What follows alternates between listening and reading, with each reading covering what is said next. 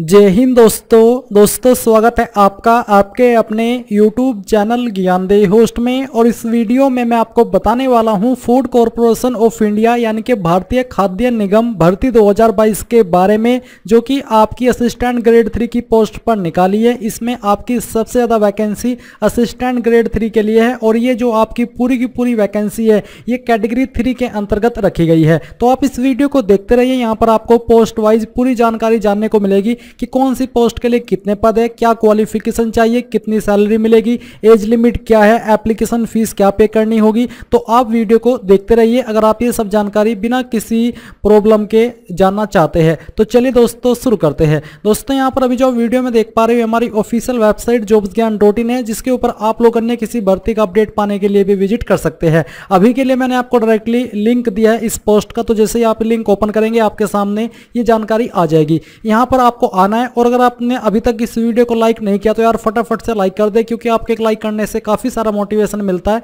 ताकि मैं आपके लिए आगे भी इस प्रकार के अपडेट लेकर के आता रहूँ। अब चलिए यहाँ पर आते और जानते इस बा, इसके बारे में। तो आप यहाँ पर पहले इस ऑफिशियल नोटिफिकेशन से देख लीजिए। इस ऑफिशियल जो ये नोटिफिकेशन है इसका अनाउंसमेंट इंप्लॉयमेंट न्यूज़पेपर में जल्दी तीन सितंबर को बेसिकली होने वाला है। और फिर आप लोग इंपोर्टेंट डेट्स के अकॉर्डिंग जो इस फॉर्म को भर पाएँगे वो आप 6 सितंबर 2022 से भर पाएँगे एंड 5 अक्टूबर 2022 तक आप लोग इस फॉर्म को भर पाएँगे। यहाँ पर थोड़ी सी जानकारी मैं आपसे जानना चाहता हूँ कि क्या आप चाहते हैं कि जब आपका 6 सितंबर 2022 को अप्लाई लिंक एक्टिवेट हो, मैं आपके लिए फॉर्म फिलअप की वीडियो बनाऊँ तो आपको मुझे कमेंट करके बताना कि सर हमें फॉर्म फिलअप की वीडियो चाहिए या फिर नहीं चाहिए। आपके कमेंट के ऊपर डिपेंड रह करके मैं आपके लिए फॉर्म फिलअप की वीडियो बनाऊँगा या फिर नहीं बनाऊँगा, आपकी चॉइस के अकॉर्डिंग नाउ गाइज़ मैं आपको एक स्पेशल जानकारी देना चाहूँगा और ये जानकारी आपके लिए बहुत ही खास होने वाली है, इसलिए आप इस पार्ट को बिल्कुल भी स्किप मत कीजिएगा। तो दोस्तों, ये सवाल पूछना आपसे बनता नहीं है कि क्या आप जॉब्स के लिए देख रहे हैं, क्योंकि ये ऑब्वियस है, आप यहाँ पर इस वीडियो के ऊपर है तो इसका मतलब है कि आप जॉब्स के लिए देख रहे हैं।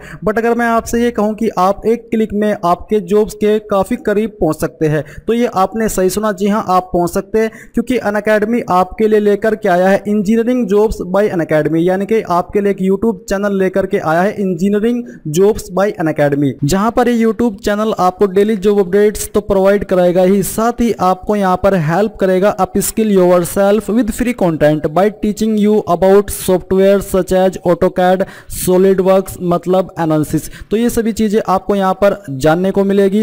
एंड यहाँ पर मैं आपको बता दूँ कि जैसे कि डेली जॉब अपडेट्स है बाई जो कि A N interview preparation and LinkedIn mastery learn latest technology जैसे कि building your own drones vehicle tear down and a lot more ये सभी चीज़ें आपको यहाँ पर फ्री में इस यूट्यूब चैनल के ऊपर जानने को मिलने वाली है। So if you want to get job ready and get placed this is your one stop shop जी हाँ आपने सही सुना। अगर आप जॉब पाना चाहते हैं और पहले से होना चाहते हैं कि हाँ मुझे जॉब मिल भी जाए तो ये आपके लिए एक बेस्ट स्टॉप है जॉब पाने का।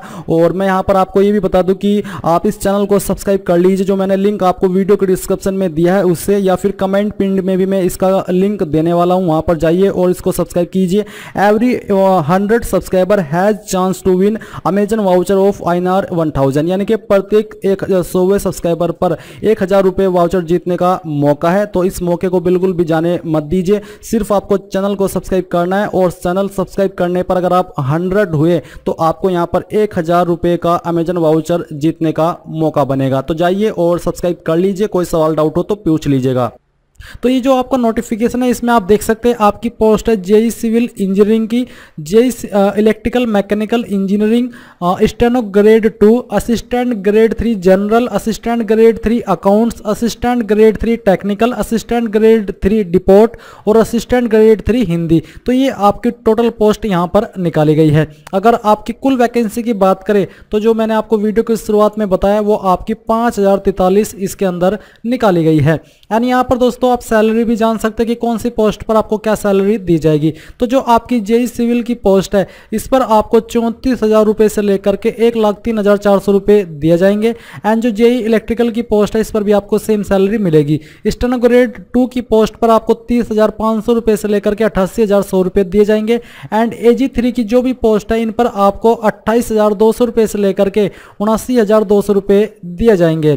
इसके अलावा यहाँ पर जो आपकी एज लिमिट है, वो भी आप जान सकते हैं। जेई की पोस्ट पर आपकी मैक्सिमम एज लिमिट 28 साल है, जो कि 1 अक्टूबर सॉरी 1 अगस्त 2022 तक काउंट की जाएगी। एंड जो स्टेनो ग्रेड टू की पोस्ट है, इस पर एज लिमिट आपकी मैक्सिमम 25 साल है और एजी थ्री की पोस्ट पर आपकी एज लिमिट सत्ताईस साल मैक्सिमम रखी गई है। एंड मैं आपको ये बता दूँ कि जो एज लिमिट है, ये जनरल कैंडिडेट के पर एप्लीकेबल होगी, क्योंकि गवर्नमेंट रूल्स के अकॉर्डिंग एस सी कैंडिडेट को पाँच साल की और ओबीसी को तीन साल की एज के अंदर छूट दी जाएगी। अब चलिए जो बाकी की आपकी पोस्ट वाइज जानकारी है, वो मैं आपको यहाँ पर अच्छे से, सरल वे में हमारी वेबसाइट से बताता हूँ। उसके पहले आप यहाँ पर एप्लीकेशन फ़ीस जान लीजिए। यू आर यानी कि जनरल ओ बी को पाँच सौ फ़ीस पे करनी है। एस सी विकलांग के लिए कोई फ़ीस नहीं है। ये कैटेगरी कैंडिडेट फ्री में अप्लाई कर पाएँगे।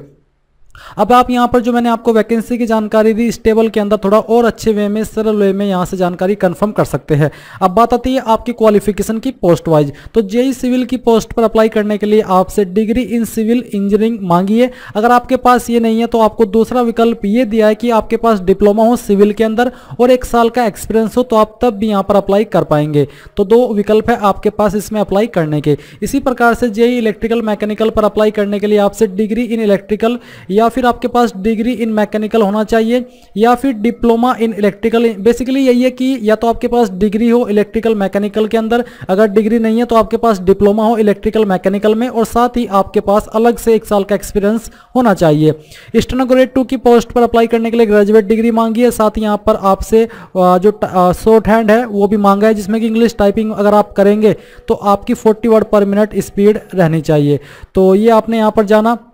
सॉरी यहाँ पर जो आपको बोला कि 40 word per minute and 80 word per minute in English typing and shorthand respectively ये बेसिकली आपकी स्पीड रहनी चाहिए। एजी थ्री की पोस्ट पर अप्लाई करने के लिए जो आपकी जनरल की है, इस पर ग्रेजुएट डिग्री मांगिए किसी भी डिसिप्लिन में with proficiency in use of computer यानी कि कंप्यूटर की नॉलेज आपको अच्छी होनी चाहिए। एजी थ्री अकाउंट पर अप्लाई करने के लिए बैचलर जो कि आपने कॉमर्स के अंदर की हो और कंप्यूटर की नॉलेज भी आपको होनी चाहिए। एजी थ्री टेक्निकल पर अप्लाई करने के लिए आपके पास दो विकल्प है।